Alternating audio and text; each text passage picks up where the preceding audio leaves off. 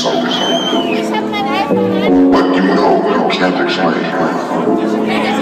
You feel it.